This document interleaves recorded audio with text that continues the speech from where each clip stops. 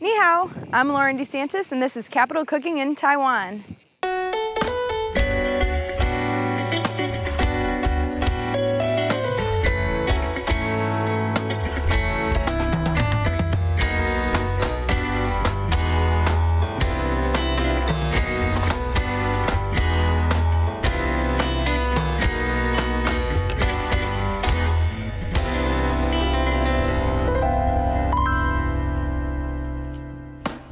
Capital Cooking travels to Taiwan for a culinary adventure. Join us as we explore the sights, culture, and taste of this subtropical Asian island. In this episode, we'll explore a tea plantation, learn traditional Taiwanese recipes, and shake up a cocktail in a secret downtown bar. But first things first, if this is a tropical island, I needed proof. So our first stop was Kenting on the southern coast of Taiwan, we stayed at the Chateau Beach Resort, right on the water, perfect for soaking up some sun. Ah, this is my type of vacation. I was told I couldn't just sleep on the beach all day, so I decided to try my luck bodyboarding. This proved to be harder than I remembered.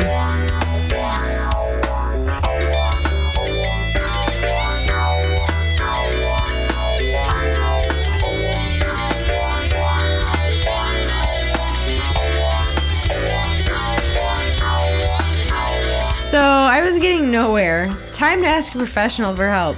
Luckily, there was this friendly tan lifeguard, Francis, who was happy to give me a free lesson.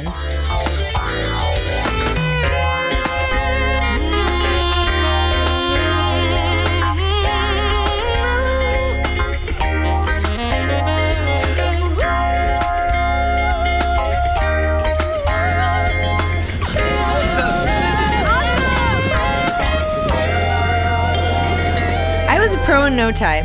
All too soon, though. We had to leave the beach and head north, far north, to visit a tea plantation in Pinglin. The Taiwanese love their tea, and this plantation was an award winning producer of Baozhong tea. All right, we are here in Taiwan, and in Taiwan, tea is a way of life. So we've driven up the windy roads into the mountains outside of Taipei to learn how to pick the tea, process the tea, drink the tea, and eat lunch with tea. Sounds like fun. In this particular plantation, fresh tea of the highest quality is picked by hand in the sun. I was given a woven basket and headed up the hill to the fields. Hi, how are you doing? How are you doing? Nice to meet you. Nice to meet you. Yes. Uh, so, can you tell me a little bit about the tea up here?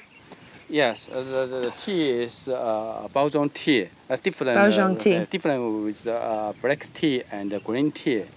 And is this a really popular tea in Taiwan?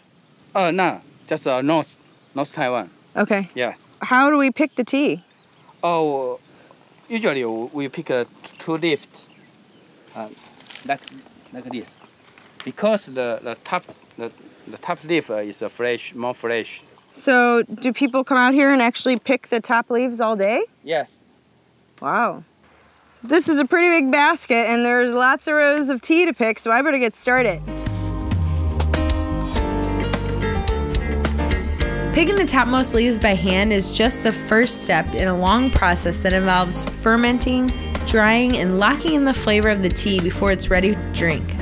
The hillside smelled amazing, covered in the fresh tea plants, but the sun was hot. I didn't quite fill my basket.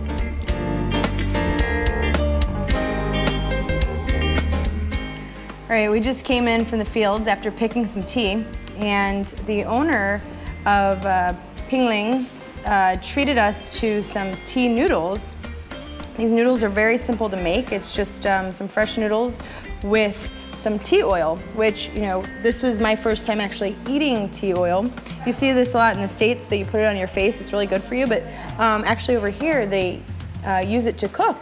And it's very healthy for you. They use it like we would use olive oil. Um, it is a very, you know, pricey oil. It's, um, one of these bottles costs about $30 or so, um, but a little goes a long way. It's very fragrant. Uh, you can use it for these noodles, you can use it for fish. It is actually made uh, from the bush underneath uh, where they grow the tea, these kind of berries. Um, so similar maybe to what olives, you know, growing these berries create this tea oil. Uh, we also got to sample uh, a tea liqueur, which was very nice. Uh, you know, now in the States it's really popular for uh, mixologists to infuse different liquors with actual tea leaves, but here, you know, this is already done for you and it's, you know, a very delicate flavor. It's smooth and really refreshing to enjoy with the um, Baozhong tea. This is the spring batch and it's very delicious. It's uh, Victory tea and uh, we're learning all about tea in Taiwan. It's tea time.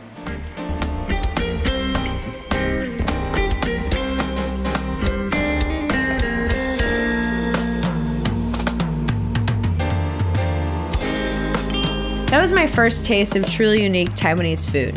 I was hungry for more, so I met up with Andy Wu, a food guru, at his studio in Taipei. All right, we are here in the beautiful kitchen of Andy Wu. Hi. He is a very famous uh, food expert here in Taiwan. He's a cookbook author, a radio host, Yes. TV host, food writer, consultant. You name it, he can do it. And he is going to show us um, a recipe today from uh, Hakka. Yes, Hakka. Hakka stir fry. Stir fry, Fried yes. stir. Yes. And um, tell us a little bit about Hakka and um, what it is while we begin Okay. chopping. Ha- Hakka is, is uh, uh, means in Chinese uh, uh, the people immigrate from their home to a new place, but they can find a very good place to resident. So they have to fight to the environment to struggle.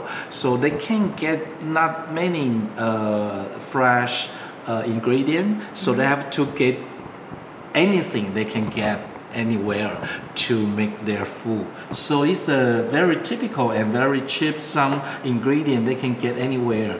Some some pork and uh, uh, bean curd and the dry squid, just like this. Yeah, so it's yeah, the, the dried squid Yeah, rather than like the this. fresh because um, they can't afford the fresh, so then they Yeah, re. you can uh, It's a lot strong. stronger. Yes, The stronger. smell. Yes. He took the dried squid and put it in some hot water and let it soak to uh, Maybe 20 you know, minutes. about 20 minutes to get it back to more of like the original form, more Yeah. soft. Yes.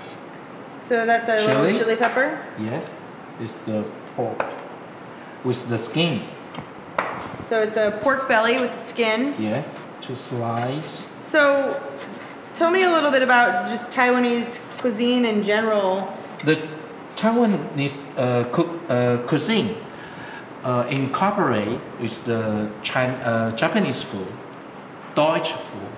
Then after the 1949, the over two million people uh, immigrate to Taiwan. From China. Yeah, from China. There are a lot of the there, there were a lot of very good chefs. They came from different province. Yeah. They brought the different kind of the, the dishes and the technique. So it's the So highlighting Yes. whatever the so- original flavor So if you ingredient. come come to Taiwan now, you can find different kind of food uh, uh, incorporate in different way because the factor of the history. So this is the um, Chinese Chinese, um, celery. which is a lot skinnier Very skinny. than our celery. Yeah, very skinny. Yeah.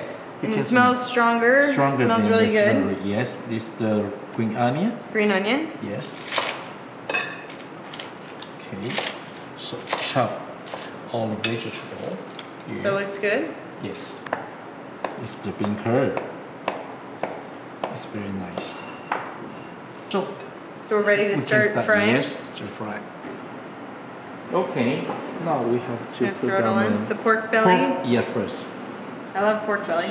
If you cannot find the fresh uh, pork belly, you can maybe you can try the Do you want me to bacon. stir it around? Bacon. Maybe. Bacon, yeah? Yes. Give me to stir it around. Yes, can. My father told me a lot of the traditional Hakka dishes when I was little boy. Yeah. When I was 10, Wow. Yes. So you started learning early. Yes. But I'm still young now. That's very important. Yes. So let's uh, switch to this wooden one so it's not so noisy. Yes. There we go. Okay. All right. This looks good. Why the uh, Chinese housewife use this one? They have to show their husband, I'm working hard now. So when the husband heard the noise, they, They hear the noise her, her husband, oh, she's working in the kitchen now. no? They should be able to tell just from the, the smell. The yeah, nice that's aroma. good way. That's Yeah. good way too. okay, now we can put down. So we browned the uh, Yes. pork belly. Now we're Garlic. putting in some of the garlic and the Chili. chilies. Bring out the fragrance of that. curd. The bean curd. Nice color. Nice, Nice color, nice smell. Mm. nice variety of textures. Oh, you're, oh, you're very nice, very good, very professional Thank you.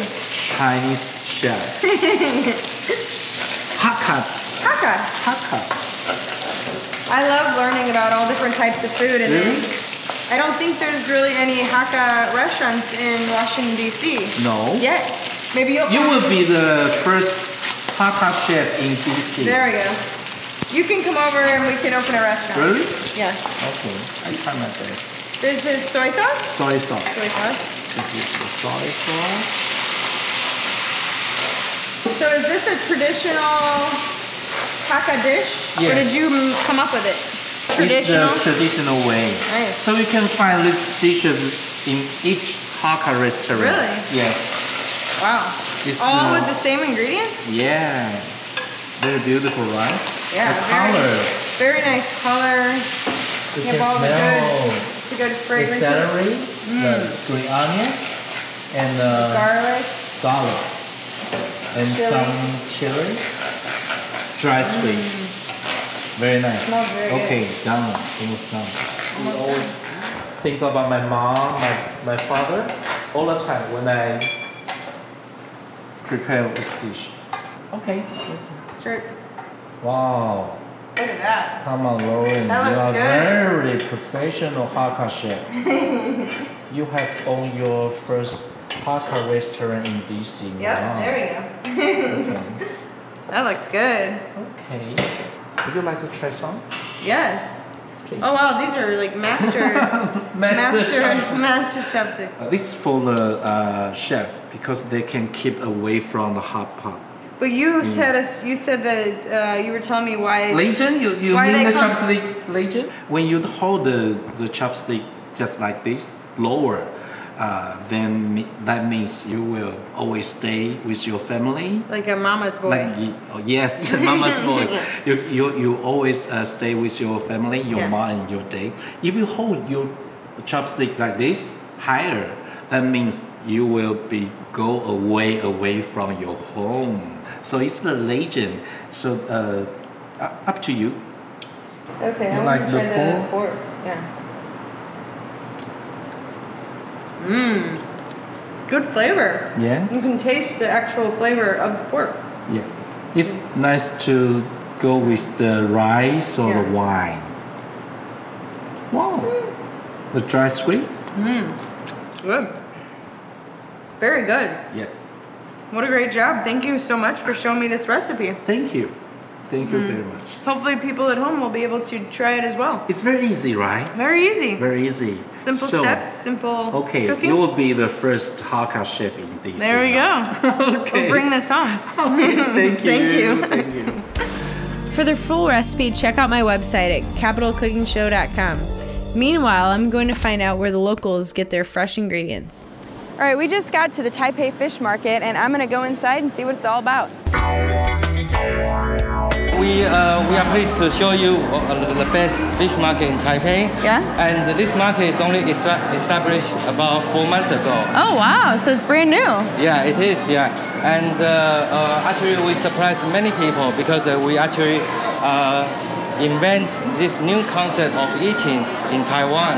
Uh, we are the first um, catering people to combine the wholesale, retailer, and uh, and the restaurant all together in one building. Oh wow, Yes. that's nice. Uh, it's kind of uh, it's, it's quite So interesting. one a one-stop shop. E- exactly one stop shop. The Taipei Fish Market not only boasts of an impressive selection of fresh fish from around the world, but also has retail shopping and a number of restaurants, all under one roof.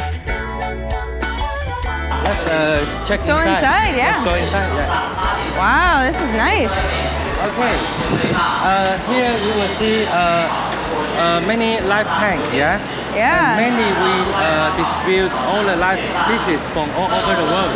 Uh, for example, this is what we call the king crab. Yeah. And we are actually Wow. buying them live, uh, shipping all the way from Hokkaido or from Russia. Wow. The I've never seen a crab that big. We try to promote more uh, sashimi grade seafood. this is beautiful. What's this? Actually, this one is a local fish.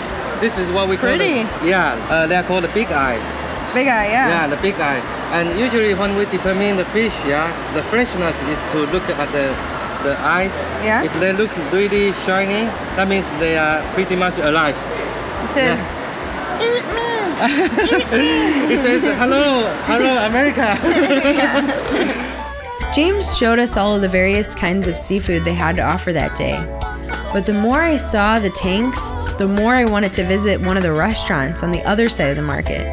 okay, let's check more, yeah. Yeah. So the next section is what we call the uh, standing eating culture. Uh, we actually invent this culture from uh, Tsukiji in Japan because uh, we want to um, make a more comfortable space for people to eat. Yeah. And uh, we believe that standing and eating is good for uh, Digestion? Yeah. Yeah. that's right.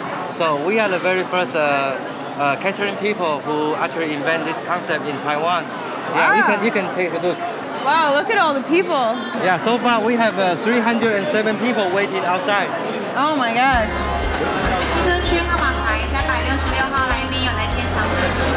Luckily, we didn't have to wait in line.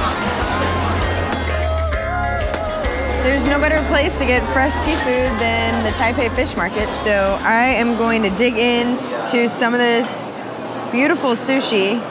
This one's a halibut and it's looking good to me. I'm gonna dip it in a little bit of soy and Mmm. Delicious. It's um very um soft, delicate flavors. Cheers. The Taipei Fish Market is something I wish I could bring back home with me in DC. Taiwan has an active nightlife, from night markets to live music and even secret bars.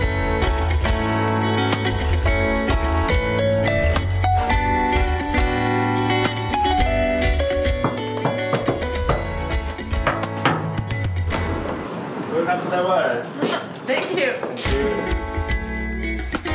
Of course, I knew how to get in and how to get the bartender to show off one of his signature cocktails. All right, we are here at the Marquee Bar um, upstairs in the secret speakeasy with Angus, and uh, he's going to show us some of the cocktails here.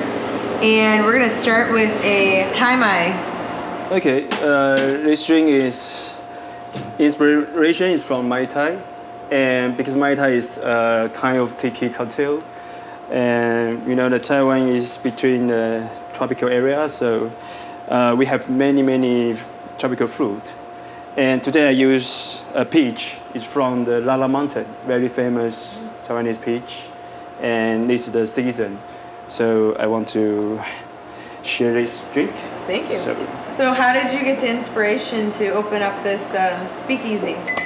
I want to, you know, make people comfortable because if you go out, different uh, bar or club, it's sometimes too packed and too rush and drink too much. Crowded. But here, yeah, so people here they will enjoy the moment here. So I could speak easy. So, if people back home decide to come to Taiwan, maybe they can try to Yeah. email you and see if there's a special way to get in. Yeah, or, or get my Facebook Yeah. Facebook. Okay, there we go.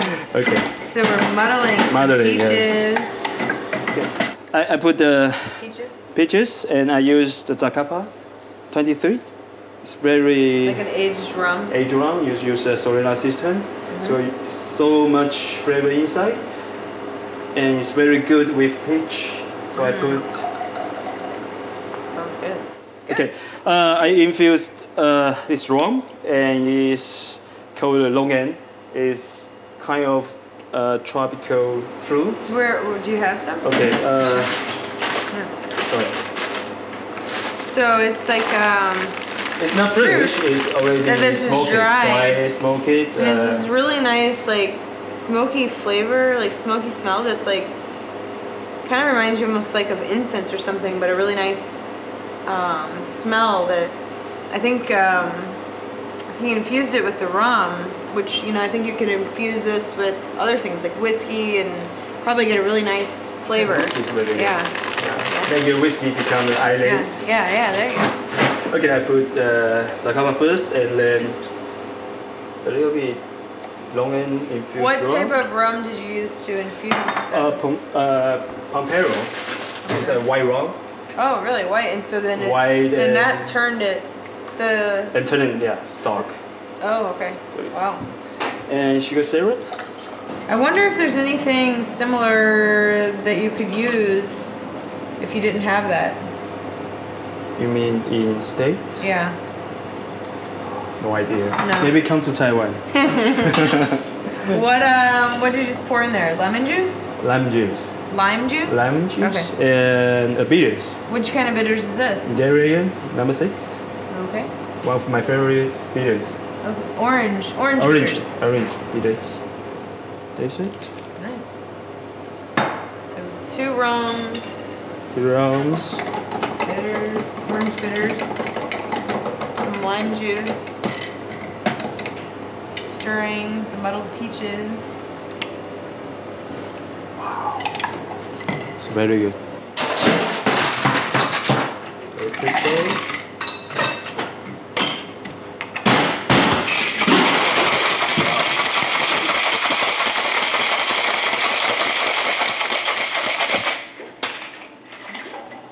Was that the hot shake? No. what was that one called? Uh, just just a shake. Just a shake. Just a shake. Oh wow. Looks pretty. What type of leaf is that? It's a bamboo. Bamboo leaf. Bamboo Nice. leaf. Pretty. Nice touch. Not yet. Because I want to give the more smoky flavor. Oh, So wow. I, I burned it. Ooh, Burn it first fancy. and pour it.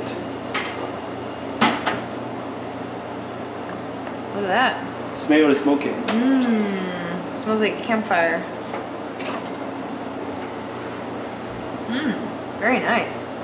Refreshing. Refreshing. And it doesn't taste strong at all. It tastes um, Even I put like uh, a lot some of peaches. rum.